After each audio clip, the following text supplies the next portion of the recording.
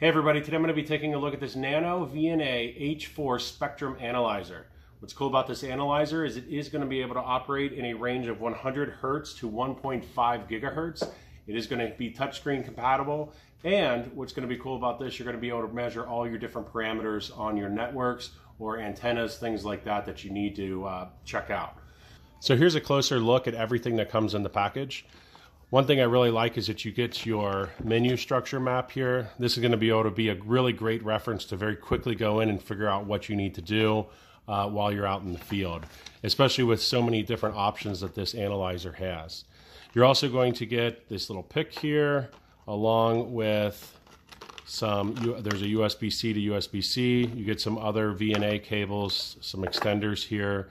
You get a USB-C charging cable you're going to get this stylus, and then you're also going to get these various terminal terminators here uh, for when you're working on those VNA cables.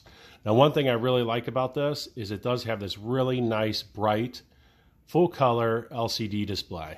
What's nice about this too is it is a four inch screen, so it's going to be very easy to see everything you need to see. And the other cool thing is that it is going to be touch sensitive. So you can use your finger here or you can use the stylus.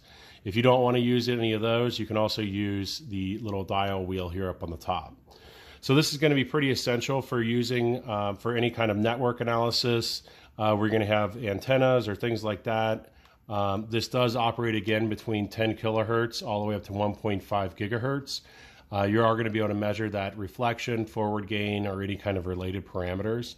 The other thing that I think is really nice, it does come with a very large 1950 milliamp hour battery. So what's cool about that is you're going to be able to do all of your work out in the field. Um, you know, if you're doing some kind of like hobby type stuff with uh, ham radios or things like that, you're going to be able to have this operating and not have to worry about you know charging the battery or battery or being plugged into anything. Uh, this is also going to be great if you're out maybe in the wilderness or something along those lines and you need to diagnose a problem with your equipment out in the field.